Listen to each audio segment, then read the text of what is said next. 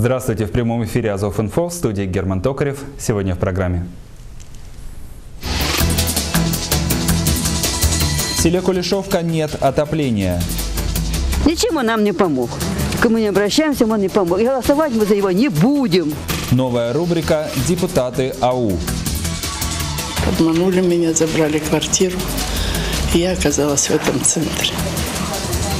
Детей похоронила, своих всех похоронила. Центр социального обслуживания граждан города. Насколько он востребован сегодня? Четверть века действует в Азове Центр социального обслуживания граждан пожилого возраста и инвалидов, специалисты которого оказывают людям различные виды поддержки и помощи. 15 лет назад, в 2002 году, для одиноких пенсионеров, в том числе инвалидов, было открыто социальное реабилитационное отделение. Насколько востребовано оно сегодня, узнали наши корреспонденты. Одиночество, слабое здоровье, конфликты в семье, любая трудная ситуация в жизни человека старшего поколения может являться причиной провести несколько месяцев в социально-реабилитационном отделении Центра социального обслуживания населения. По словам директора ЦСО Светланы Давлятовой, услуги учреждения в последние годы стали еще более востребованы, чем прежде. На сегодняшний день э, по статистике нашей города Азова э, наши услуги как надомного обслуживания, так и обслуживания стационарного проживания становятся наиболее востребованы, наиболее актуальны. И мы стараемся соответствовать максимально этим запросам, расширяя спектр социальных услуг нашего учреждения, внедряя новые технологии в наши учреждения. В социально-реабилитационном отделении созданы все условия для полноценной жизни пенсионеров. Медицинское наблюдение и обслуживание, четырехразовое питание, в палатах современная мебель, телевизоры, сплит-системы. Большое внимание уделяется организации досуга и отдыха. Мы игрушки делаем, мы рассказываем, книги разбираем. Ну, мы весь день загруженные. Вот так. Так что нам отдыхать нет, некогда. Нам не дают, чтобы мы старели быстрее. У каждого живущего в Центре социального обслуживания трудная судьба, которая сложилась так, что в почтенном возрасте негде преклонить голову. По их словам, существование в нашем городе такого заведения стало настоящим спасением. Например, Вера Андреевна Оленичева около 30 лет проработала поваром в Азовском детском доме. Когда-то была у нее семья, а также квартира, машина.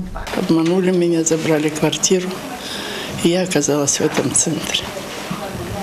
Детей похоронила, своих всех похоронила. Случается, что женщину одолевает тоска, тогда спасение находит в чтении книг. Но вообще-то плакать и скучать некогда. В этом центре очень хорошо. Люди работают доброжелательные, ласковые, честные, кормят нас хорошо. Проходят всякие мероприятия у нас. Все хорошо, отлично. И врачи, и зарядка, и психологи работают, и музыкальный центр работает. Оксана Васильевна с нами работает.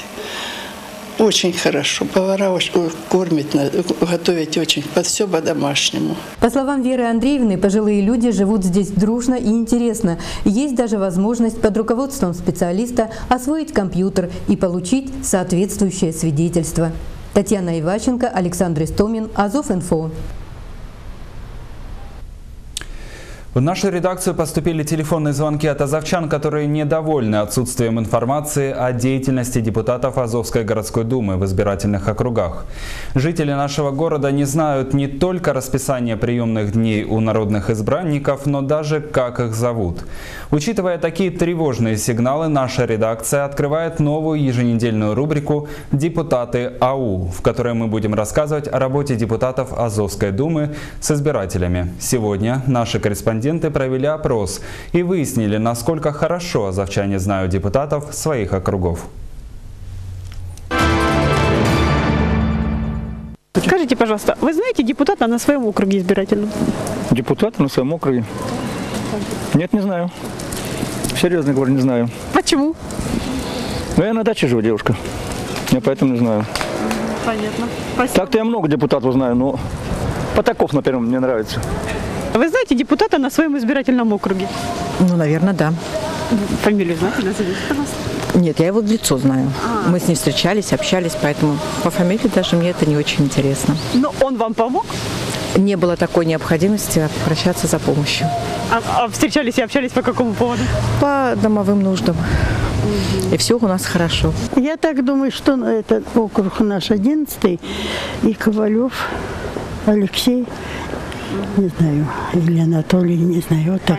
Ни разу не обращалась, хотя бы мне очень нужно было обратиться. Вы знаете депутата по своему избирательному округу? Без понятия, нет, не знаю.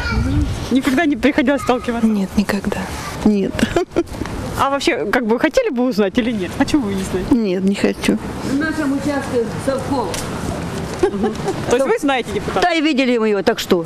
Ну вы обращались когда-либо к нему? Обращались, чтобы нам перегородку сделан в этот Красноармейский 105 дом, где машины по головам ездят. Он нам ничего не сделал, не помог. Ничем не помог, совершенно ничем. А что сказал? Обещал что-то или не обещал? Он сказал, что какие-то там сделал вот эти вот ну, такие, как эти перекладины, перегородочку сделал там, ну, сварил. Не сварил там что-то делал с дерева. Так вы вот сами долбайте, сами делайте. Я говорю, а как мы без решения будем сами делать? У нас же это может наказать. Правда? Это было года, наверное, три назад или четыре, еще тот раз. Потом опять переизбирали его. Ничем он нам не помог. К мы не обращаемся, он не помог. И голосовать мы за него не будем. Вы знаете депутата на своем избирательном округе? Не знаю. Почему? Я уже забыла. Я уже забыла, за кого я голосовала. То есть, а вам вообще когда-либо приходилось обращаться к депутату? Нет, нет. У нас все хорошо. Не знаем мы своего депутата. Ну, лично я не знаю. Хотели бы, интересовались? Надо бы нас такой нет. Скажите, пожалуйста, вы депутата знаете на своем избирательном округе? Нет. А почему? Ну, я руководствуюсь уличной рекламой и никого не вижу. То есть никогда не приходилось к депутату обращаться по каким-либо вопросам? Приходилось обращаться, но к нашему к депутату, который у нас в Государственной Думе, к Водолацкому письменно.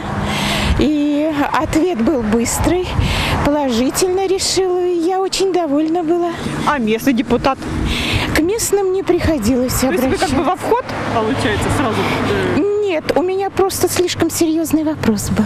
Вы депутата знаете на своем избирательном округе? Нет. А почему? Потому что ни разу не видели и не слышали о нем. Ну а вы вообще хотели бы его узнать? Кто у вас? Нет, потому что все одинаковые. Не хотят общаться с народом. Многоквартирные дома в селе Кулешовки Азовского района до сих пор не обеспечены теплоснабжением. Жители жалуются на холодные батареи и многомесячное отсутствие горячей воды. Для решения проблемы в 2017 году были выделены средства из резервного фонда Ростовской области, на который построены две котельные. В ближайшее время планируется их ввод в эксплуатацию. Уважаемые телезрители, мы вернемся в студию после короткой рекламы. Не переключайтесь.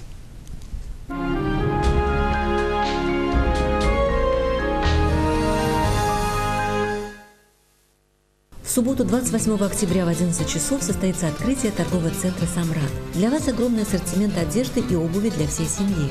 Большой выбор аксессуаров, сумок, товаров для дома и путешествий. Наши цены вас порадуют. Ждем вас на открытие магазина в субботу 28 октября в 11 часов по адресу город Азов, улица Московская, 86, торговый центр «Самрат». Второй этаж. Отличное настроение и выгодные покупки гарантируем.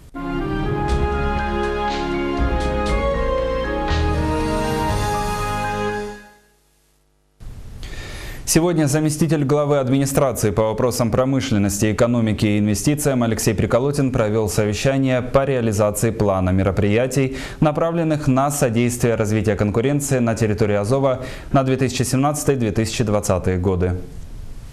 Как уже сообщалось, в качестве социально значимых в нашем муниципалитете определены рынки услуг дошкольного образования, детского отдыха и оздоровления, дополнительного образования детей, психолого-педагогического сопровождения детей с ограниченными возможностями здоровья, социального обслуживания населения, а также рынки услуг в сфере культуры, ЖКХ, розничной торговли, связи, перевозок пассажиров наземным транспортом.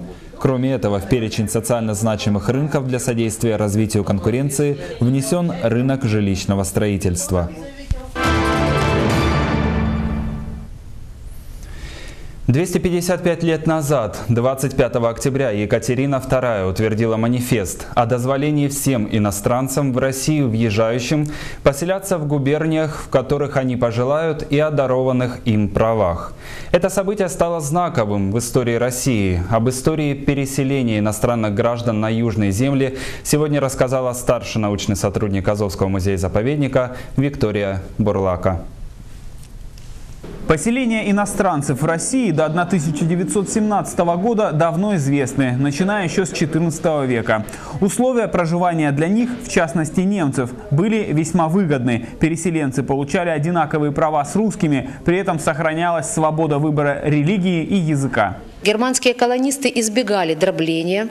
Э, все э, культурные хозяева знали в начале 20 века, что мелкое дробление э, земельных паев – это путь к обнищанию. Поэтому старались сохранять вот такие крупные скопления земельных участков – Известно, что эм, э, колонии находились не в изолированном месте. Ну, во-первых, они приехали сюда, немцы, не из Германии. Они приехали, ну, в частности, те, которые жили в колонии Эйгенгейм, из э, Ейского округа. Они приехали из Таврической губернии, э, приехали из территории Малороссии. То есть они уже имели опыт сосуществования с местным населением. Здесь у Азова их соседями были э, казенные поселяне, э, крестьяне принадлежавшие наследникам помещика Ковалинского.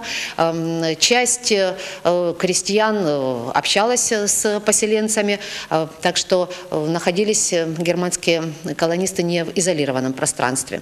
Данная политика продолжалась и при других правителях. В конце 19 века на территории области войска Донского появляются немецкие колонии. На территории нынешнего Азовского района известны поселения с э, романтическими названиями Эйгенгейм, родной приют, Ольгенфельд, Ольгина поле. Бывшей владелицей эм, этого поселения была Ольга Ковалинская. Э, Блюменталь, цветочная долина. Все эти поселения э, подчинялись губернским, уездным по крестьянскому делам присутствующим присутствием. Они были достаточно самостоятельны э, в смысле культурном. Там э, отправляли службу пасторы, детей учили э, немецкому языку учителя. Из своей среды переселенцы избирали десятников, которые отвечали за налоги.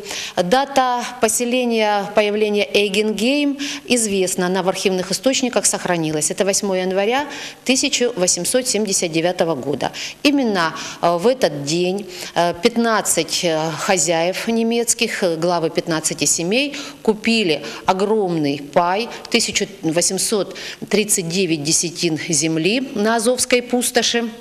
Это недалеко от посада Азов у доктора Георгия Ткачева. Так что это дата, дата основания поселения Эйгенгейм. Переименования произошли в начале Первой мировой войны в 1914 году. Прежние названия немецких колоний на территории Донского края искоренялись с большим трудом. И по сей день старожилы называют Новоалександровку немецкой колонкой. Александр Истомин, Валентина Сираж, Азов.Инфо. Медицинский центр ДОКа уже не первый год трудится на ниве здравоохранения жителей нашего города и района. С самого начала и по сей день здесь работает коллектив высококвалифицированных специалистов, а техническая база клиники постоянно пополняется новым современным оборудованием. Медицинский центр ДОКа на Севастопольской 3 хорошо известен азовчанам и жителям района. За годы своей работы центр зарекомендовал себя только с положительной стороны. Здесь всегда можно получить грамотную, квалифицированную помощь без суеты и очередей. Нам уже 6 лет. Срок, скажем так, уже не маленький.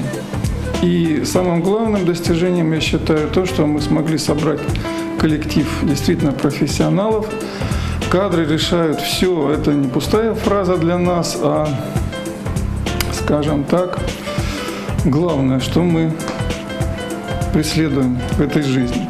В клинике работают настоящие профессионалы своего дела. Здесь можно получить консультацию терапевта, кардиолога, гинеколога, уролога, педиатра, хирурга, травматолога, а также невролога, психолога и косметолога. Представлен широкий спектр медицинских специалистов. Также в медицинском центре ДОКа можно сдать все виды анализов. Клиника сотрудничает с пятью лабораториями Азова и Ростова-на-Дону. Сейчас сложно представить работу врачей без оборудования. Именно оно помогает более детально и тщательно подойти к решению той или иной проблемы. Медицинский центр ДОКа располагает самыми современными и высокоточными приборами. Это прибор для зонотерапии, является очень эффективным методом для лечения различных заболеваний. Применяется как поверхностно, так и путем внутривенного вливания озонированного физраствора. Очень много лет используется в медицине. Вибромагнитно-лазерный аппарат Urolog используется для лечения предстательной железы и эректильной дисфункции у мужчин. Прибор современный, высокоэффективный и, тем не менее, очень хорошо зарекомендовавший себя в лечении мужских проблем. Также на базе центра работает косметологический кабинет. Здесь представительницы прекрасного пола могут осуществить целый комплекс процедур для ухода за лицом и телом.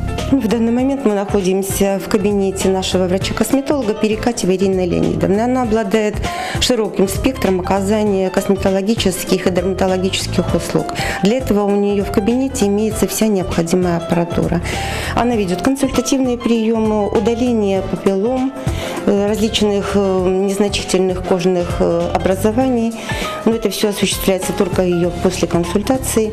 А также она проводит биоревитализацию, различные виды чистки лица, подтяжки контуров, ну и другие манипуляции, с которыми вы можете ознакомиться на сайте нашего медицинского центра. Помимо этого, в клинике есть все необходимое оборудование для ранней диагностики заболеваний сердечно-сосудистой системы, а также органов пищеварения. К ним относятся аппарат Холтер ЭКГ, это суточное мониторирование электрокардиограммы, аппарат СМАТ, который осуществляет контроль артериального давления в течение суток. Также у нас есть аппарат Хелик-тест. Этот аппарат предназначен для определения наличия в желудке хеликобактерий. Результат получаем сразу после обследования в течение 40 минут. Как известно, рентгеновские лучи небезопасны для здоровья человека и использовать их часто для обследования не рекомендуется. В медицинском центре ДОКа есть аппарат, понижающий рентгеновскую нагрузку при заболеваниях лор-органов. А именно, здесь работает методика УЗИ исследований гайморовых пазух, которая позволяет отследить динамику заболевания, а также определить наличие патологического состояния, не причинив пациенту никакого вреда. О пользе массажа знает, наверное, каждый из нас. Сидячий образ жизни, работа за компьютером, отсутствие физических нагрузок – все это отрицательно сказывается на общем состоянии наших мышц. Размять, разработать и привести их в тонус поможет массаж. Надо отметить, что цена на этот вид услуг фиксированно держится уже в течение четырех лет. В основном у нас идет э, лечебный, оздоровительный массаж. Значит, у нас есть э, набор масел э, каждому индивидуально подбираешь пациенту по заболеваниям. А, Значит, у нас проводится и как взрослый общий, так и детский массаж, антицеллюлитный массаж. Но я могу долго перечислять, их разновидность большая. Женское здоровье всегда было и остается в приоритете. В клинике ДОКа можно без суеты и очереди пройти все виды обследования, УЗИ и сдать анализы на онкомаркеры женской половой сферы. Для того, чтобы э, состоялась беременность, существует много методов обследования, в том числе в нашем центре, единственно э, в пределах города Азова, проводится ультразвуковое исследование проходимости труб, которое безопасно, безболезненно и очень информативно.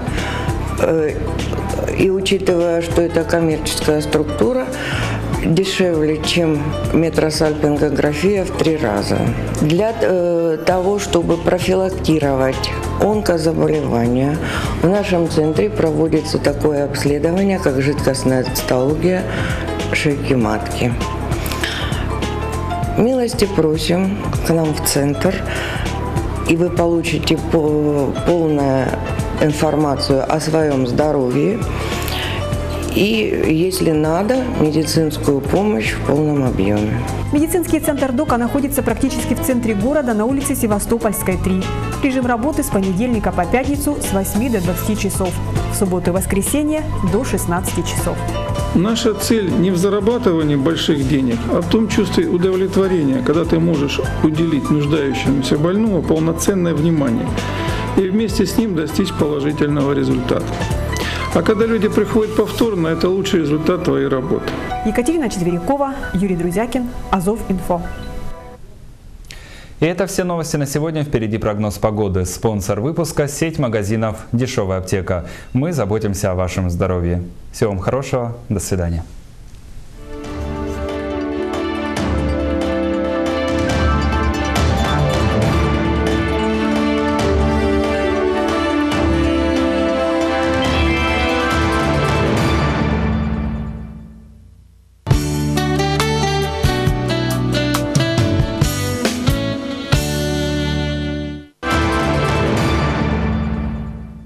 Главный принцип дешевой аптеки – продадим всегда дешевле, если назовете цену конкурента. Если вы все же найдете место, где нужный вам препарат стоит дешевле, вам сделают скидку. У нас вы получите минимальную цену в городе. Дешевая аптека – это всегда большой выбор препаратов по низким ценам, ведь ваше здоровье – наша забота. Мы работаем с 7 утра до 9 вечера по адресам город Азов, улица Привокзальная, 23 и Московская, 76. 26 октября пасмурно. Температура днем плюс 6, плюс 8, ночью плюс 3, плюс 5. Ветер восточный 5 метров в секунду. Влажность воздуха 91%. Уровень воды в реке Дон на 60 сантиметров выше отметки 0. Температура воды в реке плюс 7 градусов. Атмосферное давление 764 миллиметра ртутного столба. Гомофон в норме.